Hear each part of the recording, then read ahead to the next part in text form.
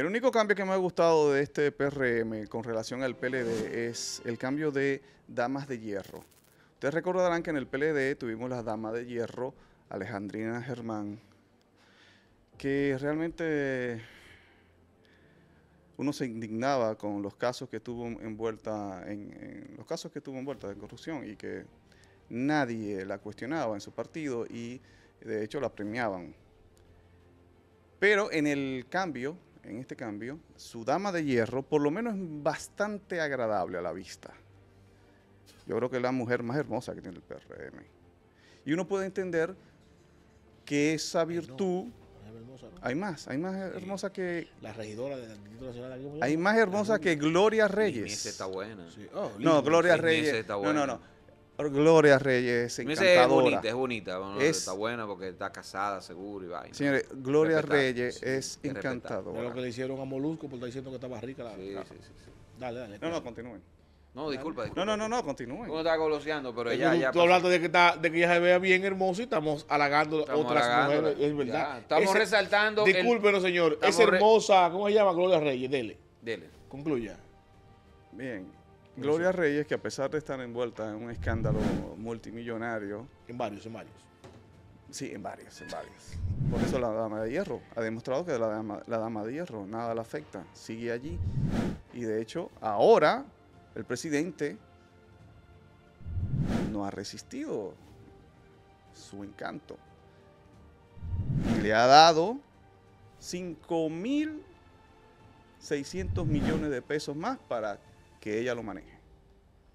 Se lo ha mandado a, la, Cámara de Diputados y lo han aprobado de una.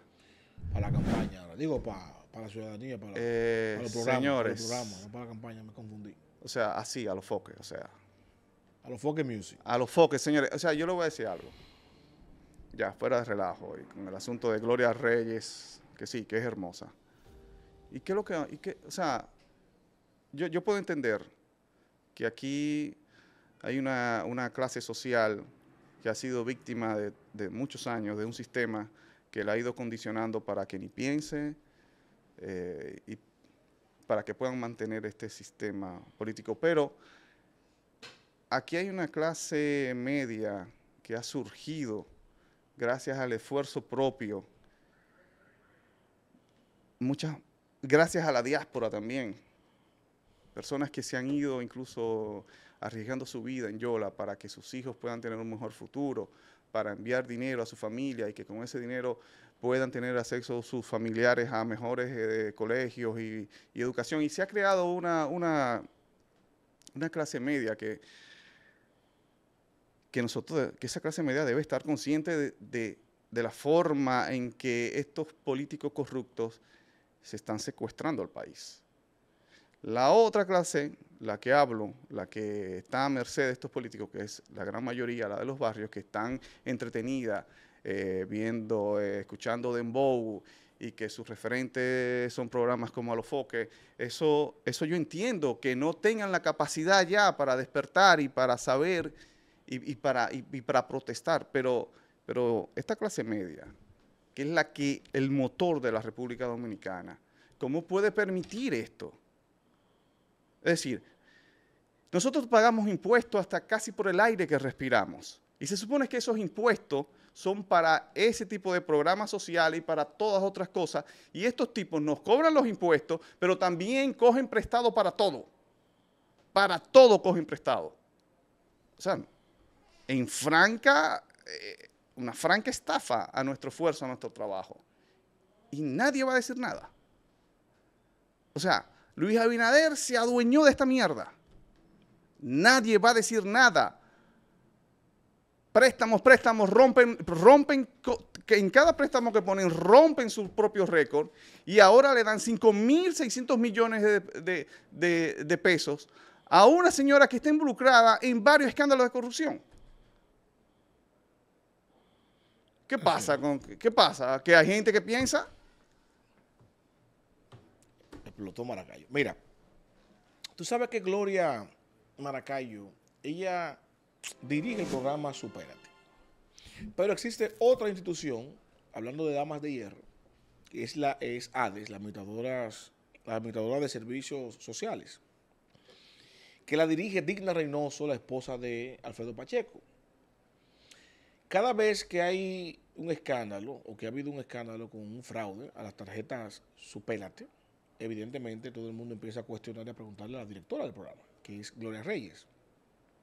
Y ella, entre varias versiones que ha dado para defender eso, para mí es indefendible, ella dijo, primero dijo que la estafa no fue al gobierno, o sea, no fue al Estado, sino a los bancos, porque supuestamente la estafa, como fue a la tarjeta, supérate, entonces no estafaron al gobierno, sino al banco, y el banco tiene que retribuir eso, dice ella, eh, eludiendo ¿no? la debilidad y la facilidad con la que se articularon para hacer el fraude a Supérate.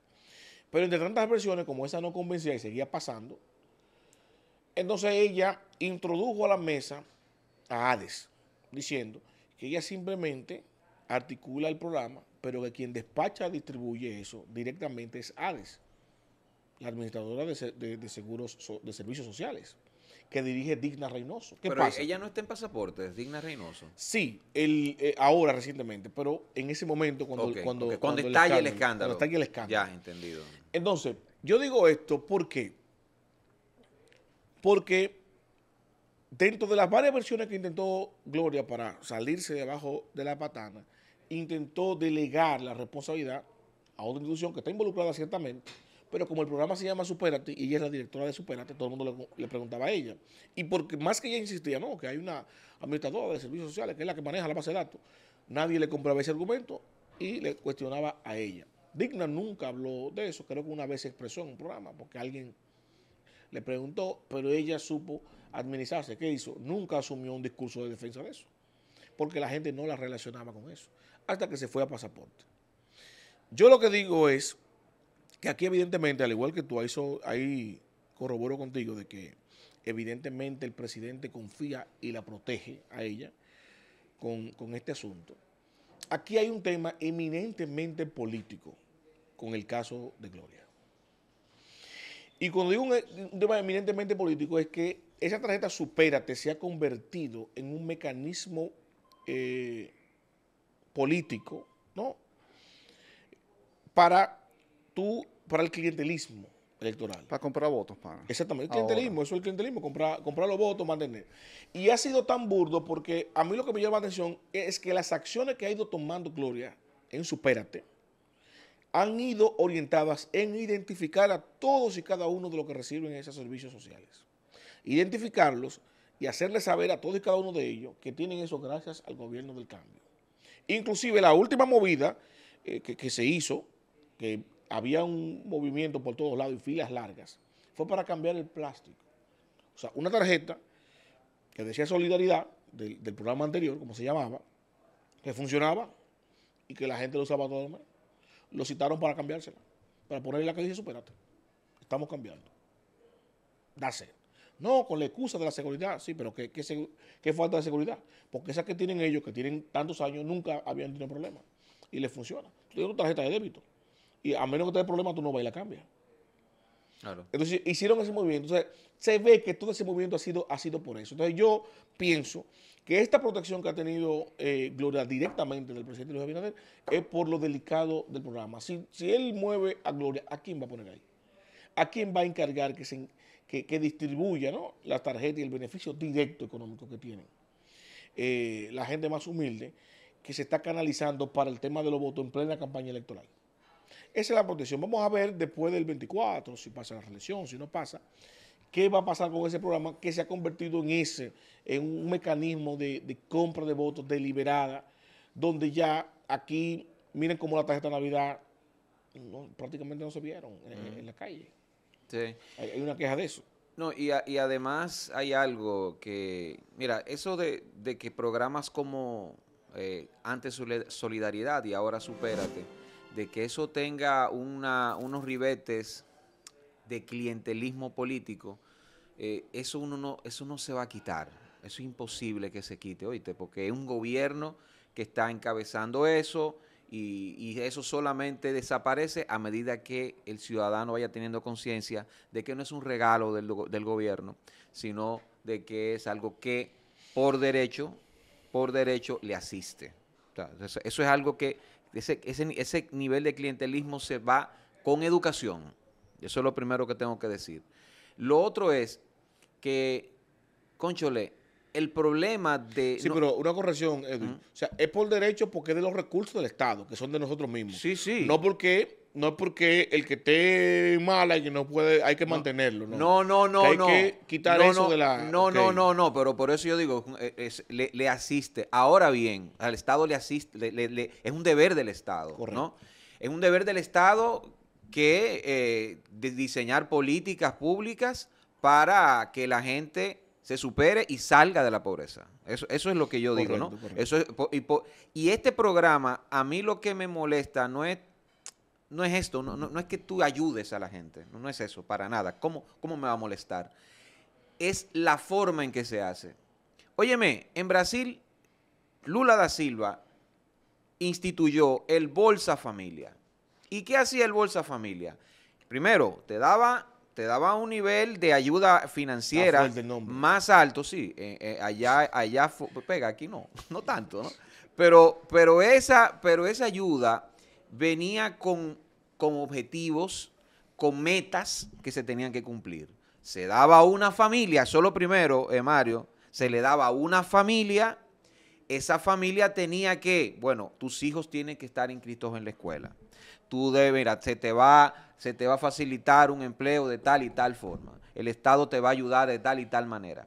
O sea, se cumplían cosas. No era de que tome tu cuarto ahí, y cómetelo. y bébetelo y métetelo. Lado que no, no, no, no, espérate. Esto, esto va a ser para que usted supere verdaderamente esas condiciones materiales que lo tienen en la pobreza.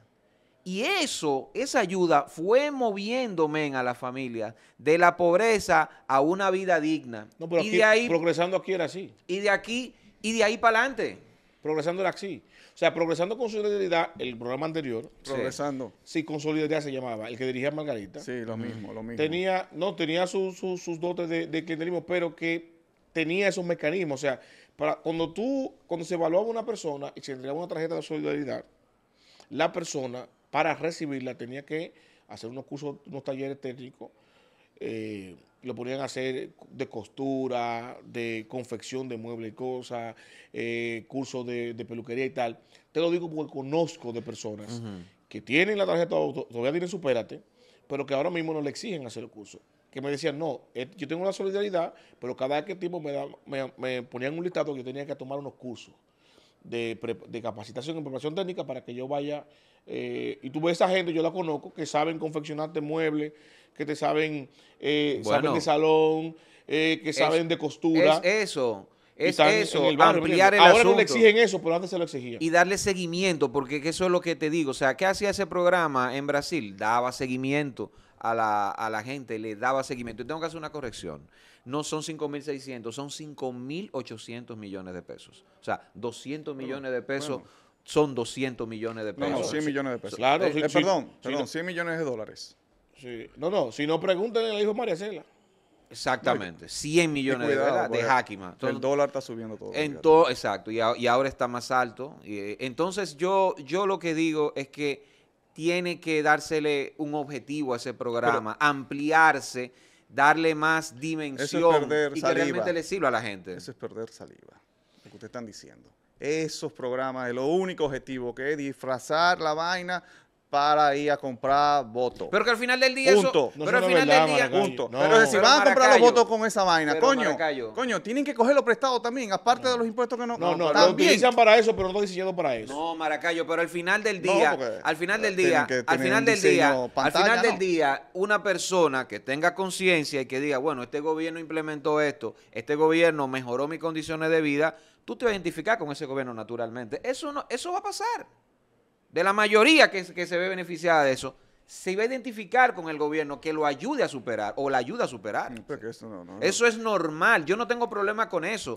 Es la forma en que esta mierda se hace. Es que, es que No, y, no, y como está funcionando esa vaina, porque nunca se había visto. Y ahora está peor, en ese, exacto. en ese programa de, de- solidaridad, y ahora supérate, que en fraude se fuera casi la mitad de esos cuartos. Tú no veas esos escándalos antes, con todo lo, lo- lo- eh, ¿verdad? Entonces, ahora el hecho de que se pueda de alguna manera, no sé por qué ahora que se supone que hay más control y más tecnología para la seguridad, ahora es más fácil para un grupo de sinvergüenza robársele a ese programa 100, 200 millones de pesos.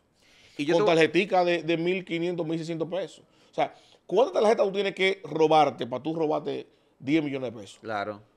claro. O sea, eso no es cuestión de un... Eso, yo lo dije, lo dije la otra vez.